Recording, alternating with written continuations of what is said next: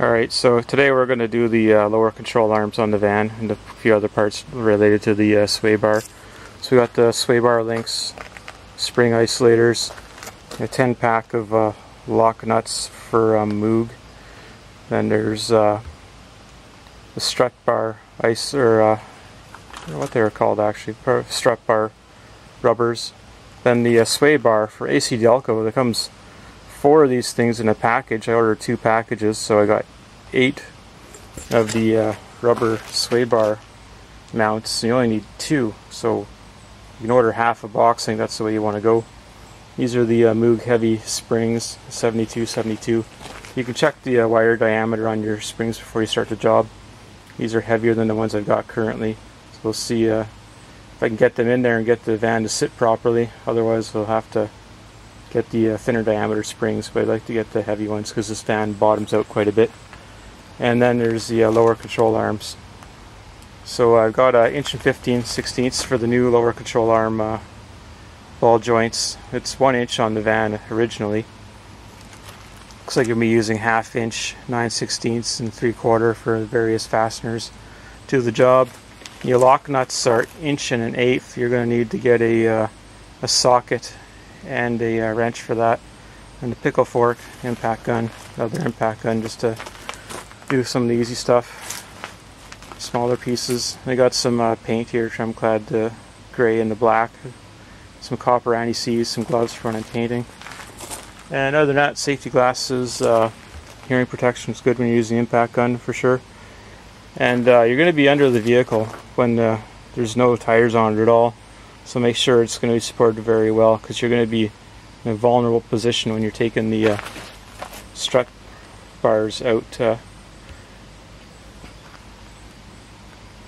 and uh, I guess I'll put the camera down for a minute, get set up on the other side, and we'll start taking the vehicle apart. Alright, so it looks like the order of operation is going to be to disconnect the sway bar, then the strut bar at the back, then do the strut bar up at uh, the lower control arm, now we'll put the, the jack underneath of the lower control arm and uh, split the ball joint and then let uh, the spring down. I'm trying to decide if I'm going to use a spring compressor to do this part of the job or not. Haven't decided. I guess uh, I'll probably try to do one one way and one the like one with the spring compressor and one without it when I'm taking it apart and uh, see how that goes. I'm not sure if I'll videotape both of those methods or not, but I'll let you know uh, which way I recommend when it's done.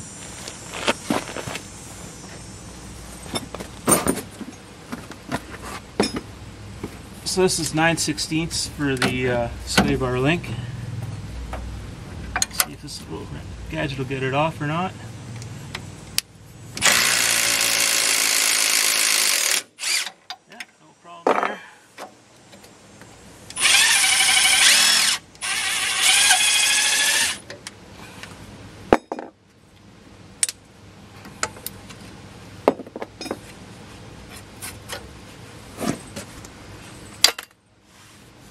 Move the camera.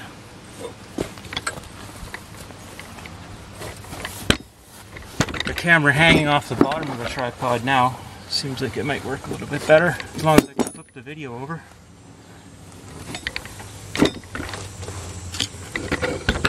So this is uh, inch and an eighth, I believe. So I'm using universal joints, so you got to keep your distance.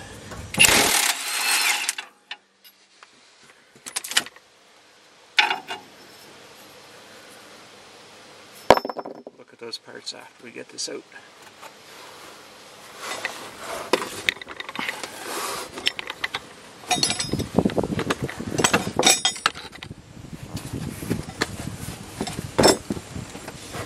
Three quarter inch for the front of the strut bar. Hopefully you can see that.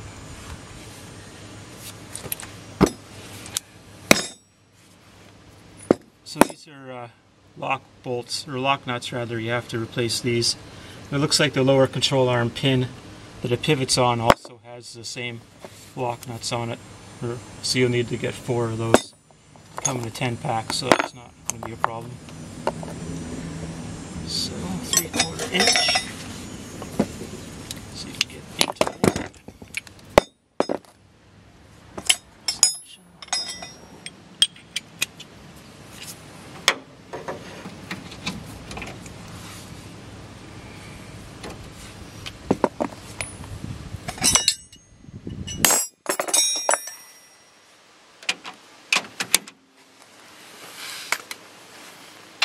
wrench in there.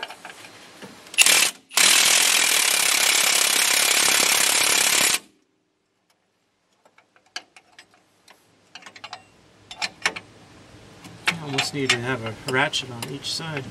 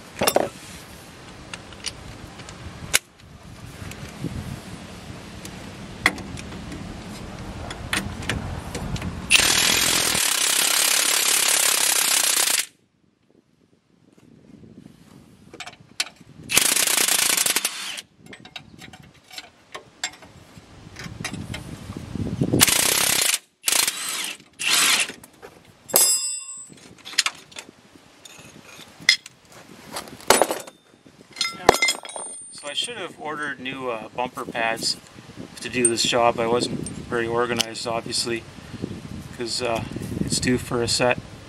So I'll see what I can uh, figure out when I put this back together. Strap comes out now. Scrape this off and paint it.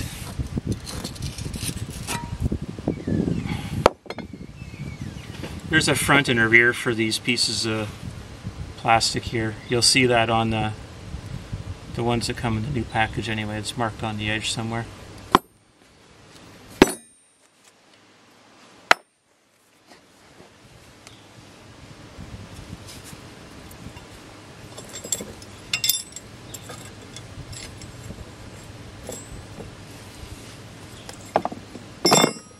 This is time to get the jack into place.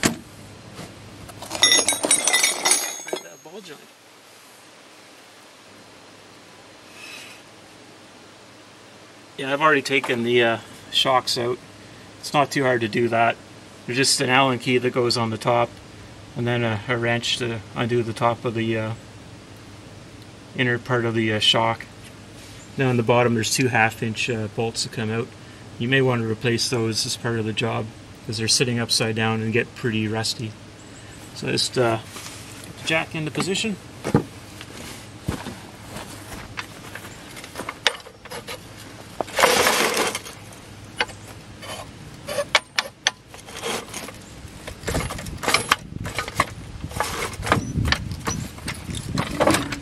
Some weight on it. See, it just shifted there. That's interesting.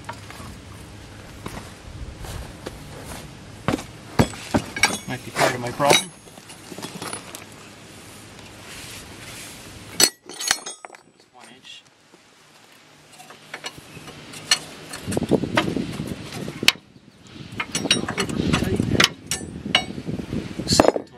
spec in my first video.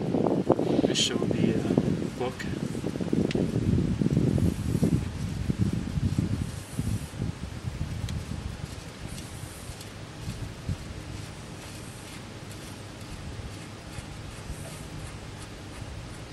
I'm just to check this to see if it fits on the uh, new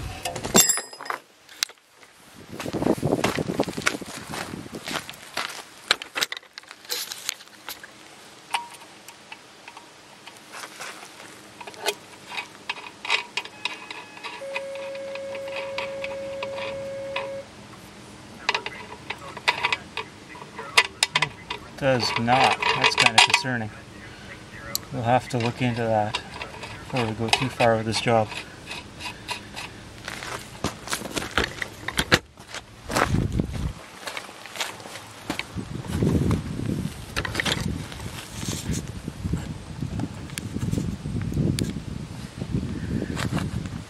Alright, so get the uh, pickle fork and hammer out.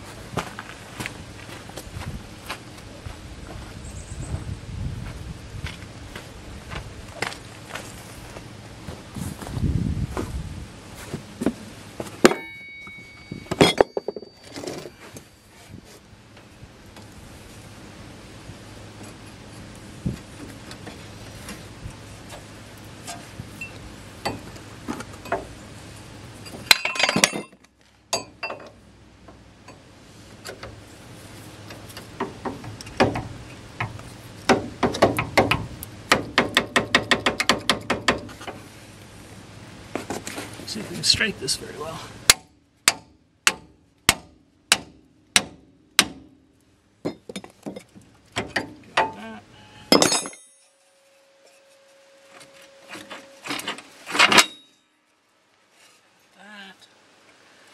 Yes, we're past the point of no return here. I'll see you if I've created a problem by not using the spring compressor.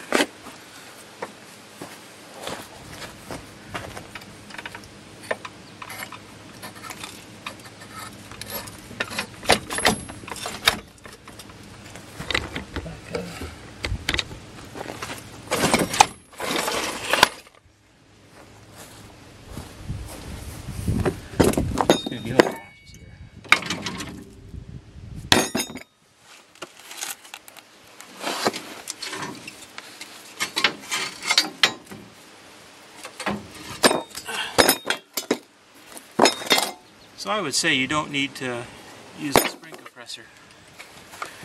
I see one thing that somebody did some time ago was they did not replace the spring isolators. They just duct taped them in. That might be part of the reason why it doesn't sit properly. So now we'll try to get the uh, lower control arm out.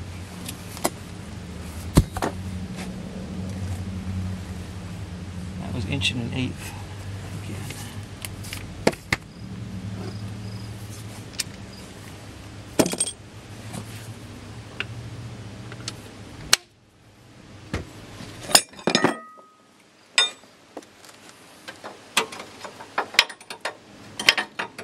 Just hang that there.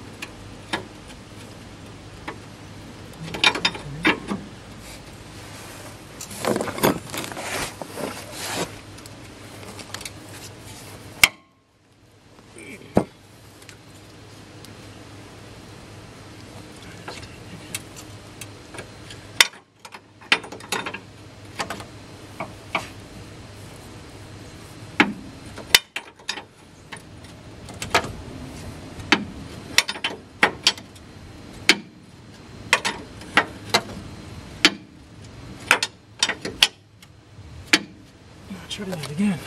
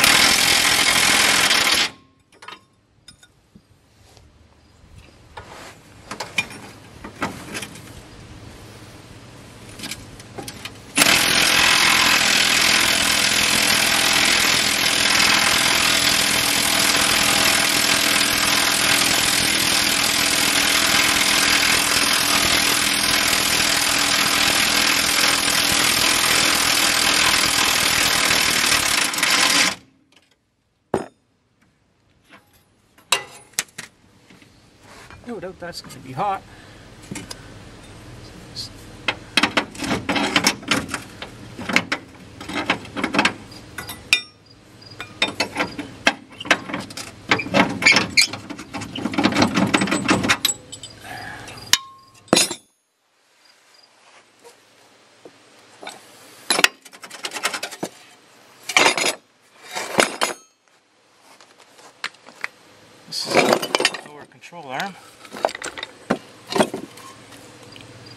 The rubber in this bushing is starting to fail on it.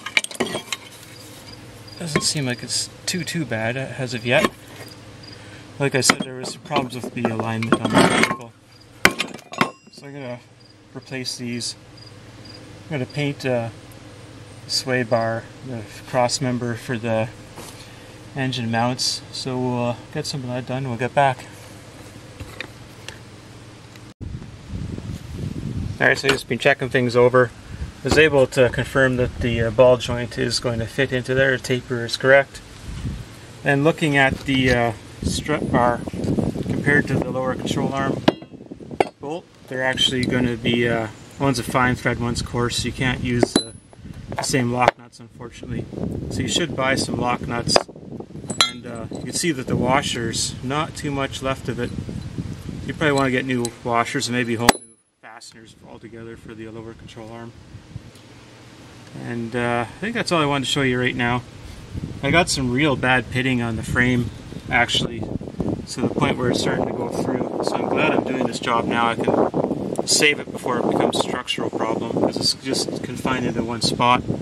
But uh, if you got an older van like myself, you should take a, a look at that. Just taking the uh, sway bar off right now. So I guess uh, one thing that's important to notice is uh, the orientation of the sway bar. So you want to put it in so it's not upside down later on. So this will take it easy because the fasteners are upside down and they're pretty rusty.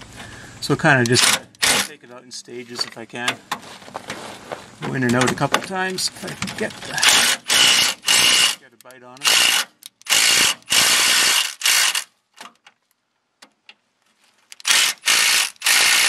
If you're doing this by hand, there's a good chance they would snap off. The impact gun, the uh, jolting and the impact actually things from breaking in a lot of cases.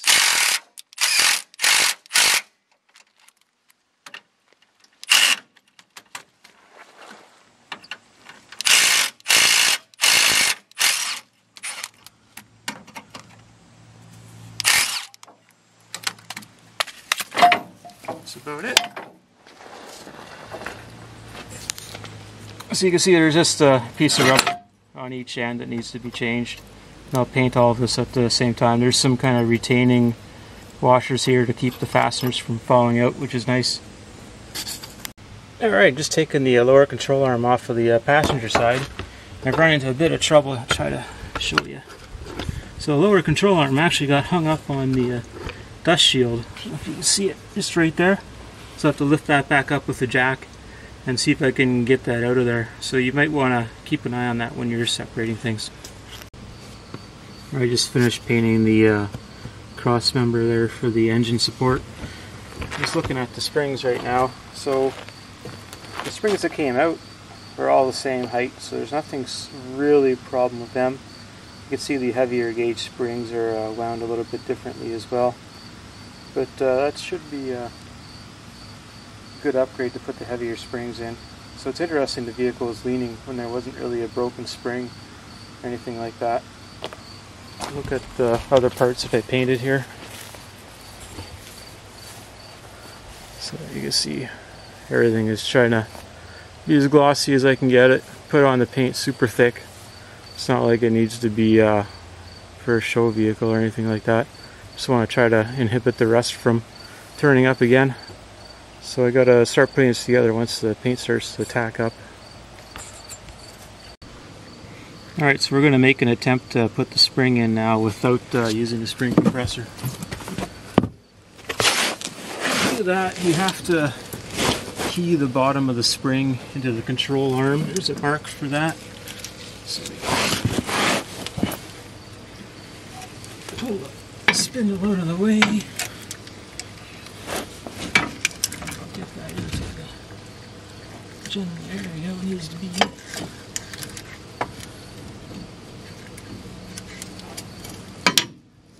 That is in position on the bottom. So get the ball joint into the knuckle here somewhere. Spindle.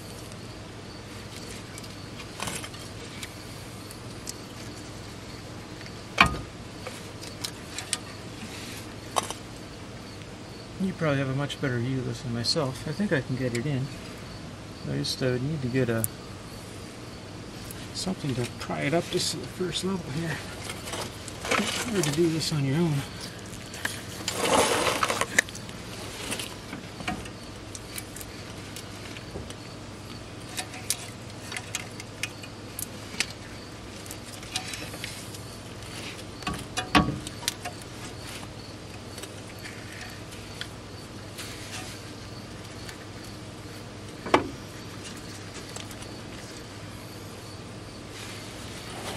Go get a bar.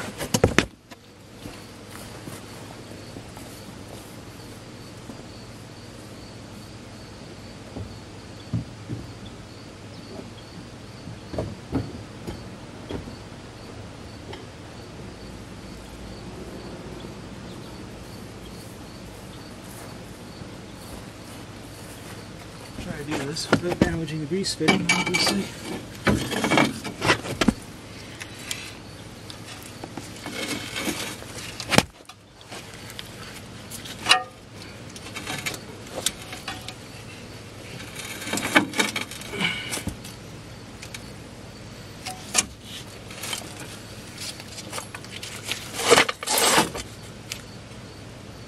Might end up putting a little bit of, dig a hole here to get the jack a little bit lower.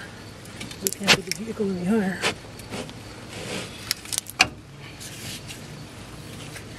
Certainly be handy to have a rope. Hold that out of the way. Alright, I'm gonna get a shovel, make a hole, and then we'll get this done. Alright, got a bit of a hole here. I don't know that you could get this up high enough on uh, regular jack stands if you wanted to use two sets. You have to go up uh, pretty high or use a low profile jack to do this. So hopefully you can get this ball joint in.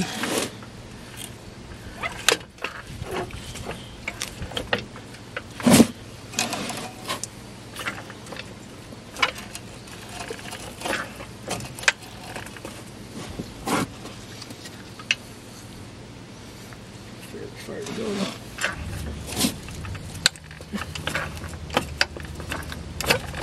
Watching the grease fitting on the bottom.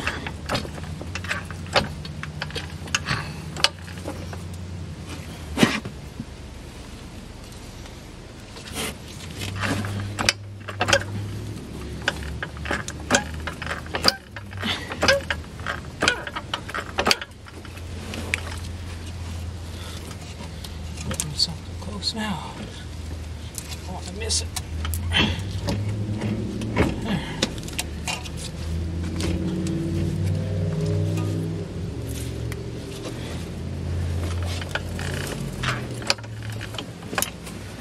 If they're not lifting the vehicle.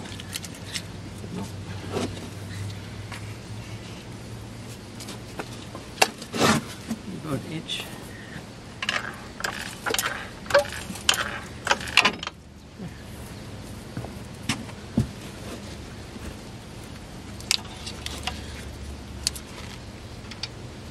So that's how you change your lower control arm. Turns out you do not need the spring compressor. In my situation, anyway. Hopefully it works out that well for yourself.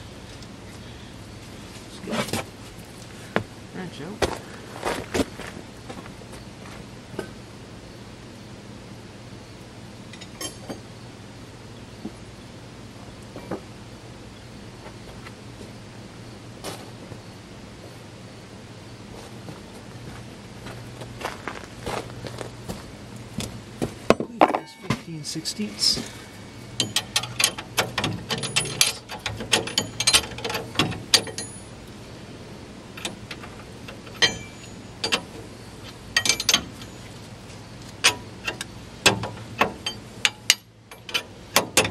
Slow going.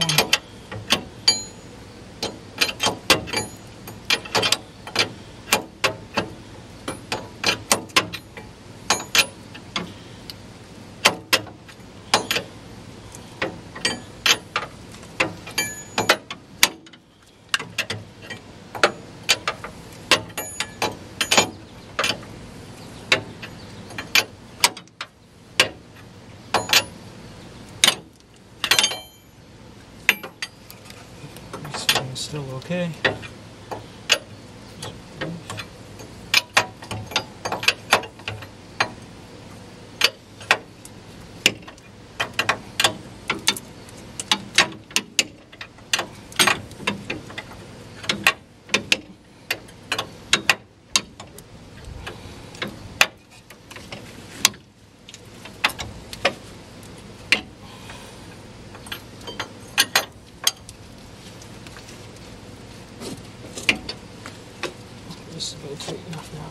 to line up the cotter pin. There is a torque setting. Depending on your competence, you should definitely follow that torque value.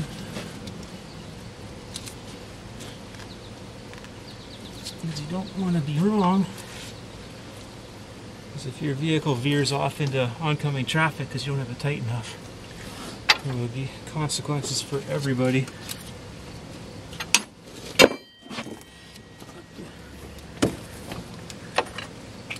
Weight down.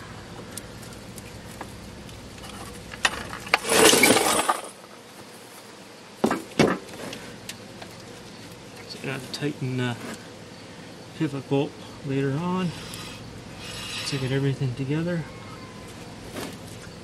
And there you have it. Keep working, we'll get back to you later when I got more together.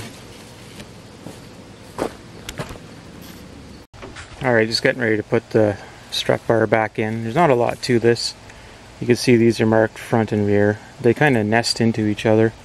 See there's a socket in there. This is a piece that goes on the front forwards of the vehicle.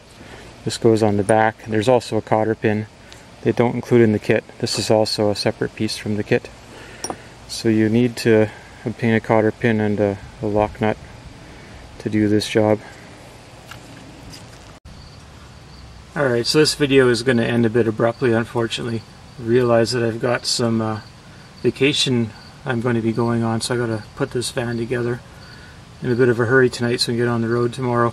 So for the final assembly, you have to put the uh, sway bar links in, and they'll come with a diagram on how to do that.